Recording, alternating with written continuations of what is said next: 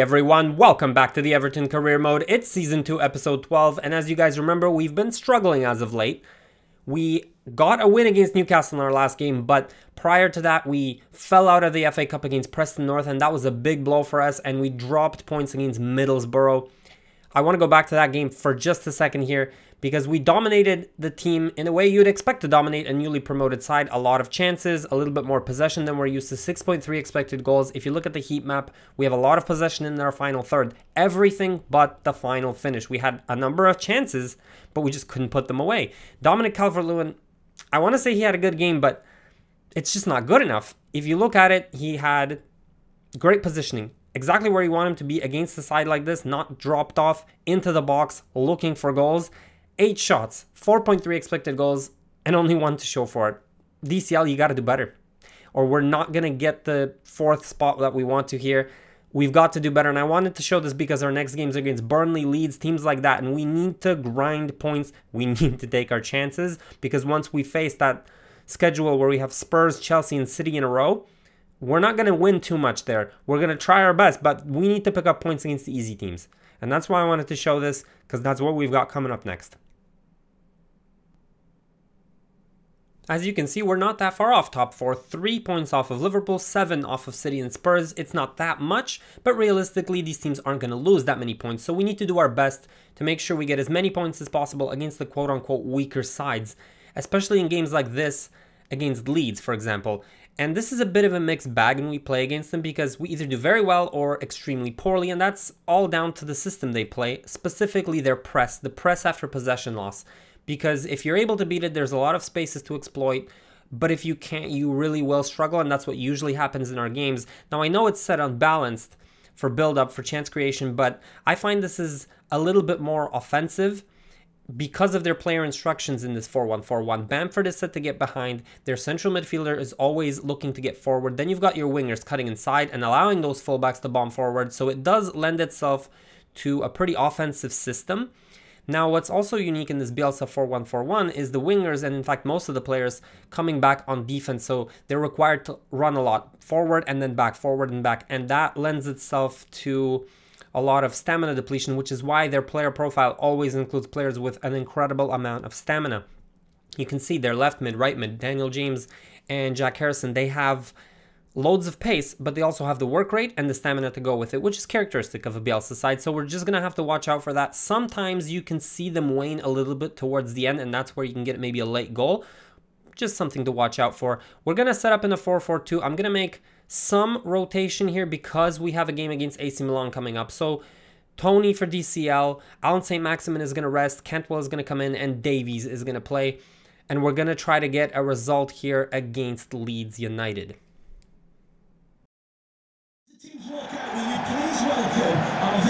Leeds United, and your Everton! Leeds really showed what they're capable of, guys. They pressured us from minute one, and we really found it difficult to breathe. They got a lot of chances, especially in the first half, and Pickford had to be on duty. He made a save there, but it was constant. We couldn't beat the press. Doucouré, great interception here, and they're on the front foot. And this is the advantage of systems which press, especially high, is you're in the opponent's half, in their third sometimes, and you get easy chances. Another one here, Pickford had to make another save, and it was constant. Even when we made good defensive plays, we tried to get it out. A great aggressive interception interception by the left back Firpo, and they're on the front foot. The central midfielder already in the box gets a header, Pickford has to make another save. Constant pressure. And we couldn't beat the press. Look at Jack Harrison, one interception, Harry's errands, then a sliding tackle. Look at the energy, the determination. He gets it back there in the final third, lays it off to Bamford. Pickford has to make another save. It was constant. And then finally, we were able to somehow slightly beat the press. We lost it at first, but then finally we were able to get it back and we got one chance of our own late in the first half. This was literally our first chance of the half. We got it, we played it around. Davies goes into space. He gets it and he smashes it in, guys. Totally against the run of play. We get an undeserved 1 0 lead going into the second half here.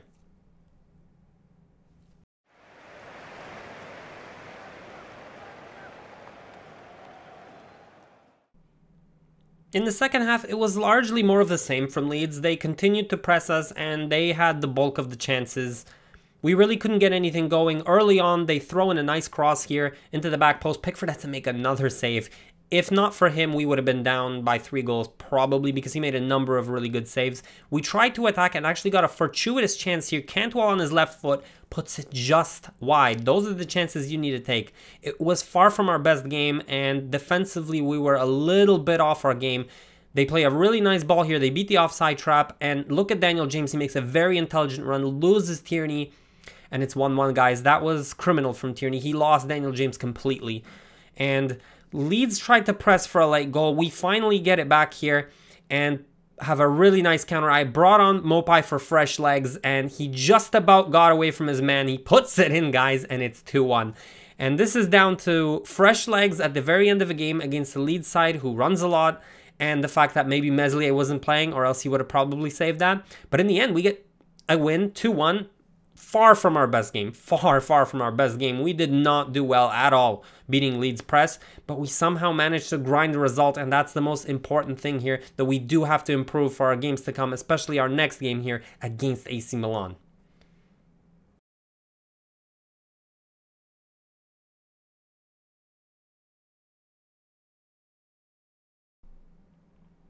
Guys, sometimes I look at these stats and I really don't know where it comes from. How did we have 3.9 expected goals when Leeds had only 2.7? They were clearly the better side with more opportunities. They pressed us back and that's why if you look at the heat map, there's so much possession for us in our own third because they pressed us back and we tried to beat the press. We failed at it for the most part. They had a lot of shots on target, a lot more than us. In fact, we only had two, so I really don't know where that 3.9 expected goals is coming from. There were some positives Davies had a really good game. He's a workhorse in the middle, defensively very sound, and then in terms of his passes, he was very tidy for the most part, and his outlet passes were really good. The team just wasn't performing up to snuff, and just against the system where they press, we really couldn't get it going. But for the most part, Davies was really good, and Pickford was excellent. I mean, if it wasn't for him, we really wouldn't have won this game. He saved us, he bailed us out, and he does this on a number of occasions during the season. Probably saves us anywhere from 10 to 15 points a season. He's just incredible. All right, guys, here we go. Champions League football. Everton versus AC Milan, round of 16. The first game is at San Siro, and this is going to be a proper battle, a proper matchup, and an even one because both teams are similarly rated 80 81. Both teams have mid 80s overalls. This is going to be a proper game. They set up in a balanced system with everything set at 50, almost like they forgot to set anything, but they're just to be content to sit back, keep their shape, and adjust their play depending on what's going on during any which phase of the game. So whether they do forward runs, possession, long balls, it really depends on what's going on during that portion of the game. Now, their player instructions are very conservative, I felt. They're more so looking to keep solidity at the back and try to get whatever chances they can. They have that focal point in a target man. Then they've got that classic 10 role who's free roaming, but their wingers are set to balance. They're going to be making short runs, they're making forward runs, they're going to be cutting inside or staying wide depending on the situation. One of their fullbacks, Hernandez, is perfectly suited to go forward, so he's going to be bombing forward, but Calabria is staying back, and that's going to counter Allan St. Maximin on our left-hand side. But first and foremost, their aim is to be solid at the back and their CBs provide a perfect platform for that. Kjær and Tomori are quite solid. Tomori is lightning fast, so he'll be able to clean up anything going into the back. Hernandez is great at going forward. He also has enough stamina and work rate to come back on defense. And Kessie is a physical specimen who's going to be screening that defense. Honestly, their quality come in the defense and in the midfield. They really don't have a lot of firepower going forward. Brahim and Martial are not world beaters, so the real focus here is to be solid. We have a little bit of a problem in terms of fatigue. I tried my best to rotate. We're going to have to deal with it. Townsend comes in for Raphinha because he still needs time to bed in, and obviously Di Lorenzo plays all our Champions League games. And we're going to have a proper go here at Milan, guys. Here we go. Everton in the round of 16. Let's have it.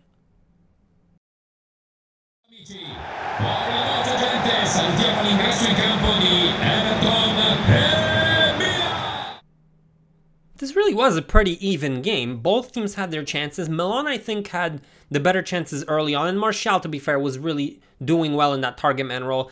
Good save by Pickford off of a shot from him. And we had our chances as well. Allan St. Maximin started the game off quite well, especially in the first 10 minutes. He was driving at people, making things happen. He skips away from Calabria here, then away from another defender. He drives into the middle just like you want, and Maignan makes the save. That was a really good drive from Allan St. Maximin.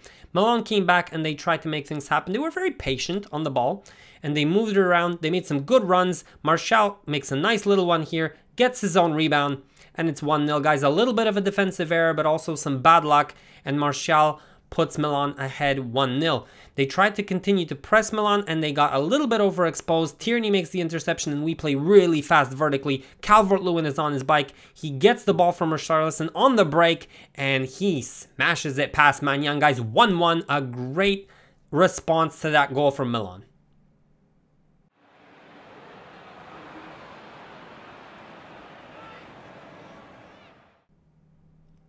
We took a lot more initiative in the second half and it resulted in a number of chances for us. What I found worked best was these penetrating balls in between the CDMs and the defense. This time Calvert-Lewin gets on the end of it and he smashes it against the post. What a chance.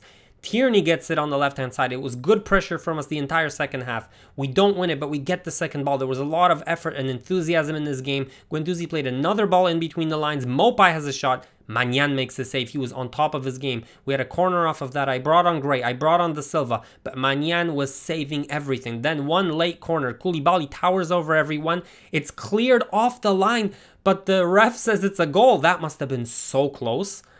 I want to see this again because that must have been millimeters, maybe inches, because it really looked like he cleared it in time. We look at the replay here, and that is a that is a highway robbery. That is not a goal. That is not the whole of the ball over the whole of the line. Milan just got robbed. We win the game 2-1 on a highway robbery. That shouldn't have been a goal. I'm sort of embarrassed winning like this. This should have been a draw. They probably deserved a draw. They got robbed. I don't even know what to say. Uh, the first time I've seen this. Goal line technology fails, guys, and that's how we win this game. That's it.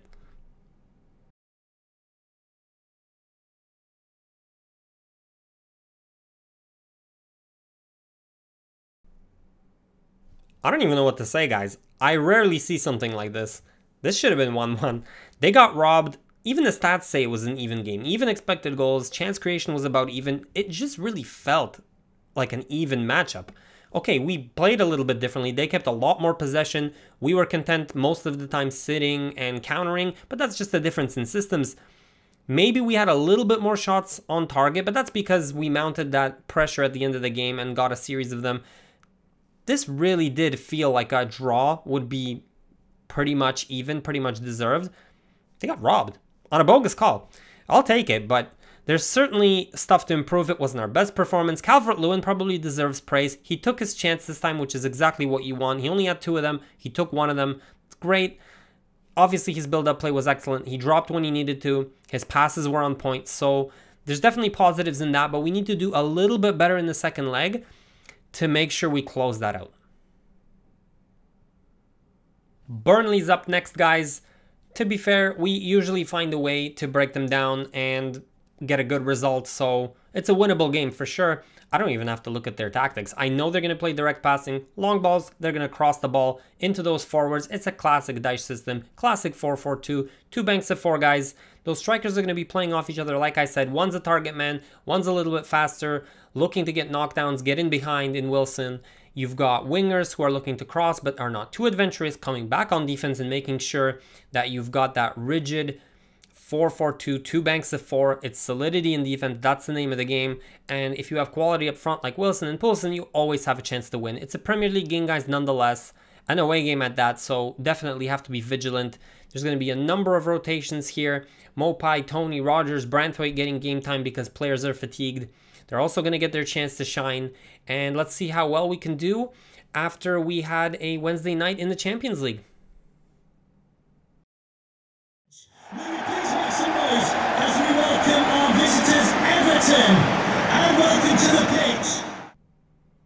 Ideally, you want to break a team like Burnley down quickly. If they're solid defensively, they just might stifle you.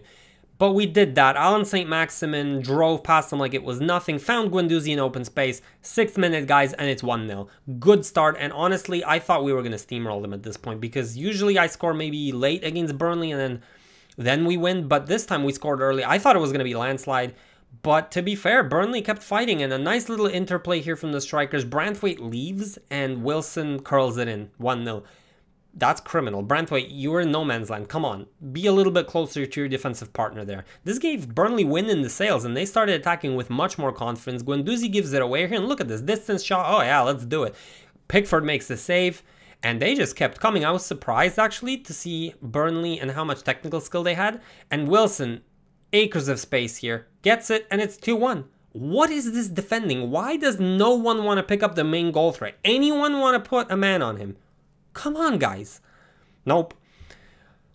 We scrap and we counter and we finally get an opportunity. Allan St. Maximin just nicely lays it off for Calvert Lewin and it's 2 2. Guys, what a goal fest to start this game.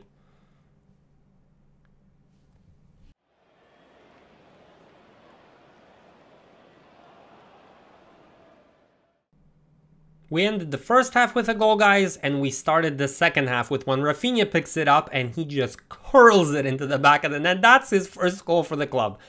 That's what he has in his locker. What a goal, Rafinha. Please, more of this. Thank you. That was amazing. And I can't wait for this guy to get into full swing of things. He'll be just a peach of a player we really locked down Burnley and they didn't have much chances of their own. We had a few. Wayne Hennessy makes a good save off of Maupay's shot. And in the very final moments of the game, Burnley got a red. They didn't have the motivation or the men to play against us. We have a great counter here. Maupay pulls away his man, squares it for Calvert-Lewin, and it's wide.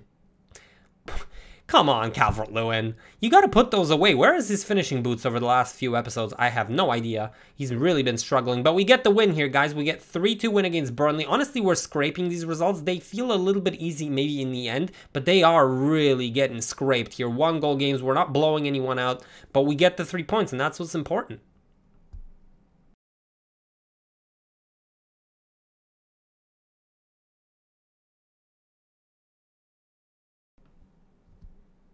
Guys, on the whole, we probably deserved this win, and we were probably the better side. Certainly, we had more chances, 4.4 expected goals. We had that pressure in their final third because Burnley likes to sit back, so we were invited this time to have the pressure, to have the possession a little bit more.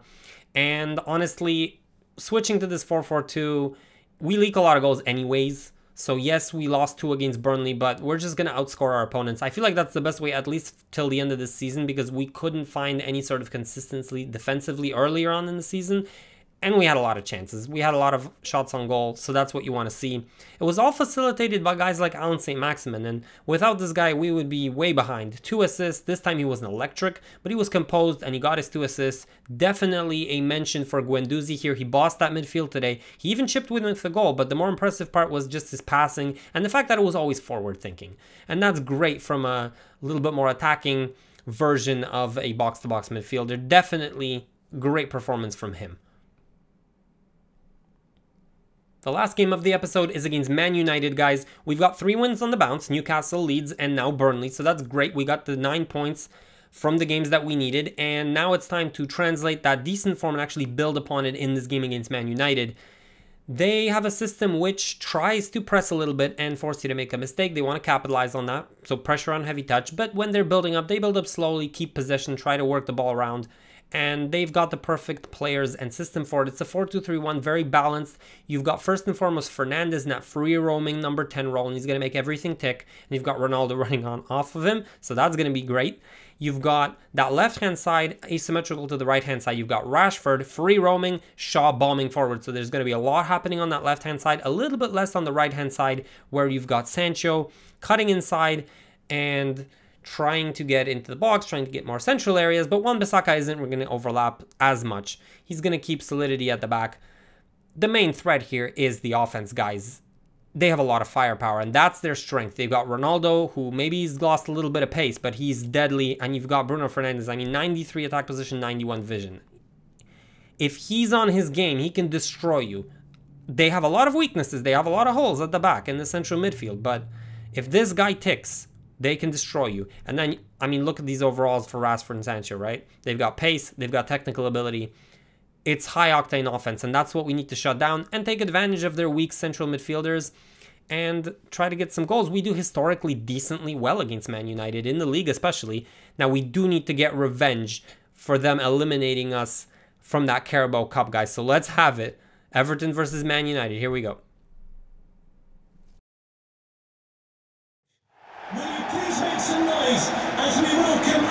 Visitors, Manchester United, and your.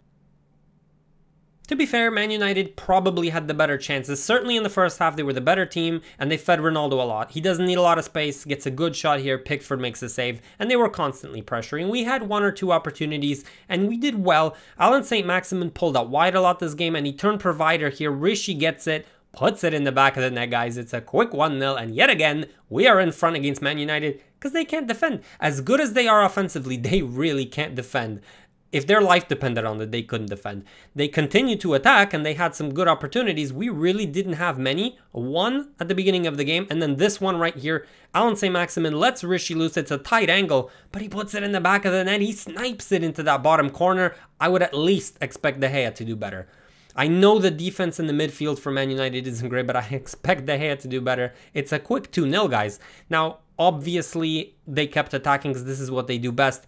Pickford was on point. Ronaldo was getting a lot of shots. Finally, they played it off a corner, and they do really well here. To be fair, the attack positioning from Bruno Fernandes to find this little bit of space puts it in. It's 2-1, guys. It's a good it's a good goal. It really is, and it's 2-1. A little bit of doubt seeping in now.